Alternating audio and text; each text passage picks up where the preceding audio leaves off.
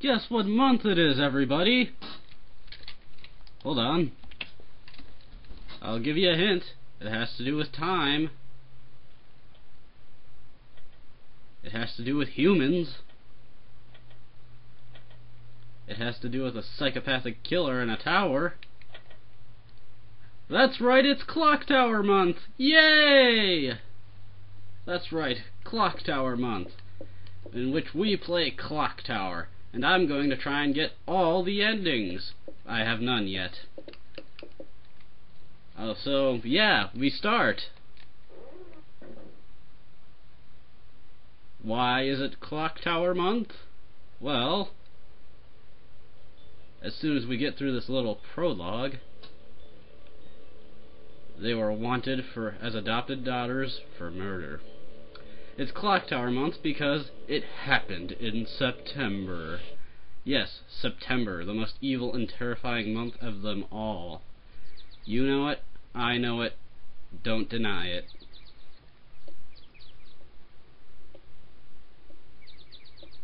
And we have a bunch of girls and some ugly lady walking up to some huge house in the middle of the forest. Surely nothing bad can happen there. Miss Mary? Yes? From now on, what kind of place will we, we be living in? That's the fifth time you asked. Shut up. Repetition will get you nowhere. Don't worry, it's a very nice place. But you only got my word for that. We're almost there, see?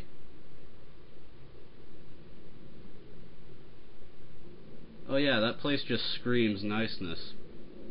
Can you feel the niceness rubbing off of it? Man, it's so nice, I just can't stand it.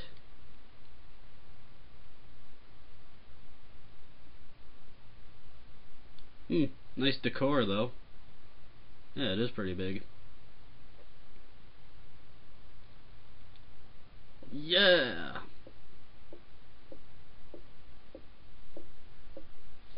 Well, we've got a nice new place to live. Okay. We'll try not to get murdered while you're away. I mean, we'll try to enjoy ourselves. And as she walks off very slowly,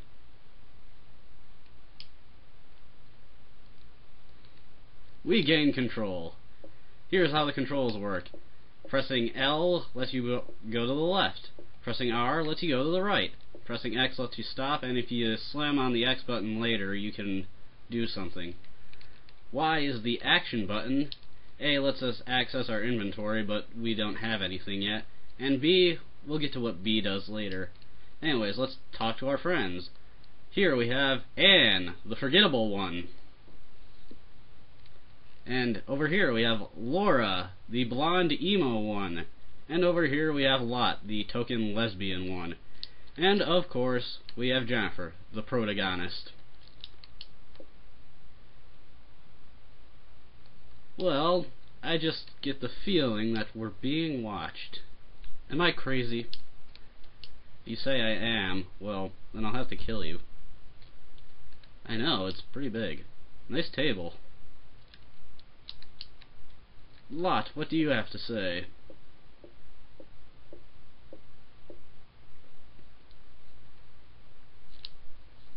Oh, come on, it's a nice place.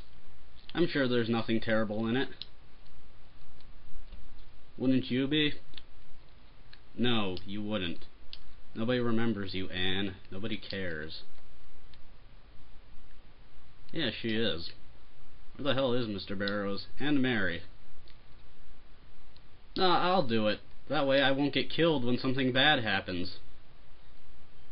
See? Creepy music stirring up. You just know something bad is about to happen. Okay, Miss Mary, where are you? Um.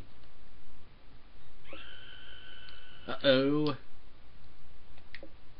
and she automatically takes her back to the self back to the main hall. And everybody's gone. Why is that? Hmm, better go look for everybody. Hopefully they aren't dead. Ooh, hey, a light switch. Who turned the damn lights off? Well, I'm just gonna leave them on so I can romp their electricity bill. Ha ha!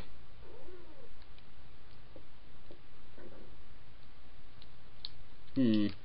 Well, better go investigate, see where they are. Good, this is exactly where I want to be. Okay, looks like that wall has some structural integrity problems, so we might be able to break it. Why would I break it? Because I'm a jerk. And we pick up a rock. For the sole purpose of breaking this thing.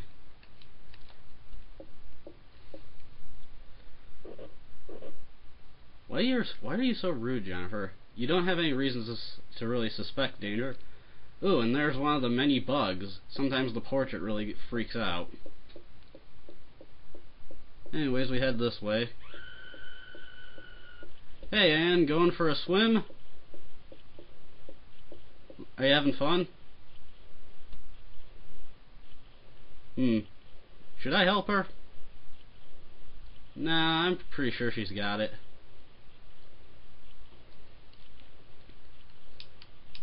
And that's not what you're supposed to do.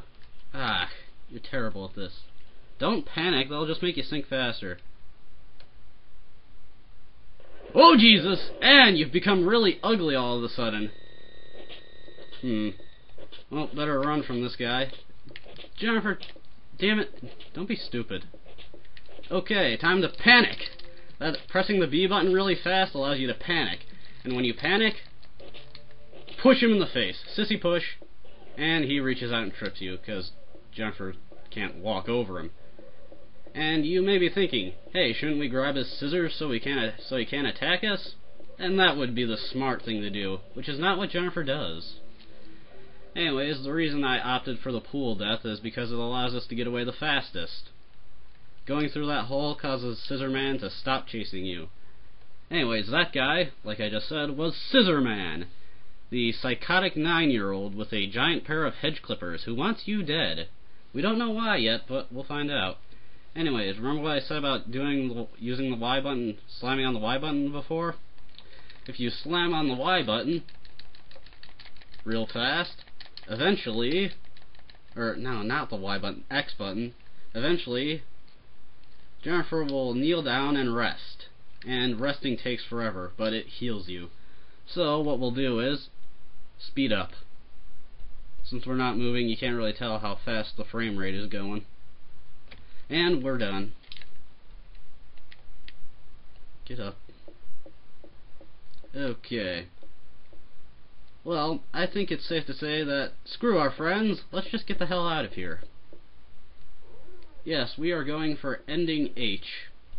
Now, each day I'll upload a different ending and I'll show the various steps required to get to that ending.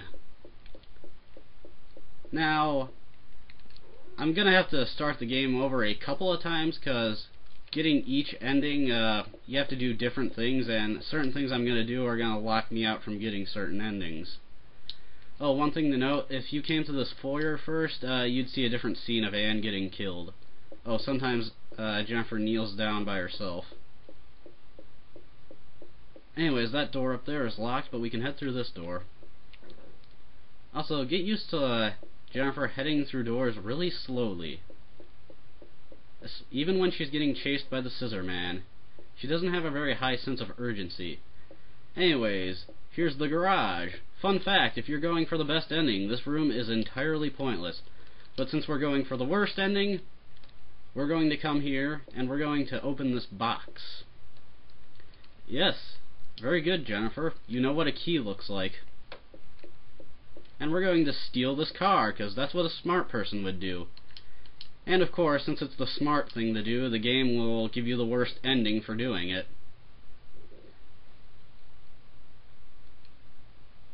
But Jennifer has second thoughts, because, well, we haven't found out that all of her friends are dead yet. Now, if you come back here when you've discovered the bodies of other friends, if you've discovered their bodies, then uh, Jennifer will just leave anyways and you'll get a different ending. But since we don't know that the others are dead yet, we're we have second thoughts about it, and we also get the worst ending. Screw you guys, I'm getting the hell out of here.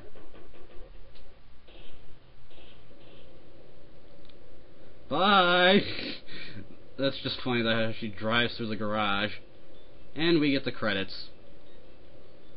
They're credits, and they're very slow, like everything else in this game. So we're just going to speed them up. Do do do do do. There's that guy, and that guy, and that dude, and various other things. And here's the little extra scene you get after the credits. This is the worst ending in the game. But it's also pretty funny. Well, that wasn't very smart, Scissor Man. You can't drive. How are you going to get back home? Now, since that was the wrong ending, you can just continue back to the beginning of that room and actually go do what you're supposed to do. But as you can see, we've cleared the H ending. Come back uh, tomorrow and we will clear subsequent endings.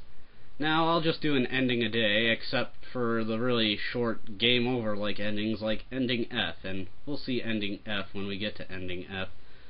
So, come back tomorrow and we'll get another ending for another day of Clock Tower Month. Yay, Clock Tower Month! Bye bye.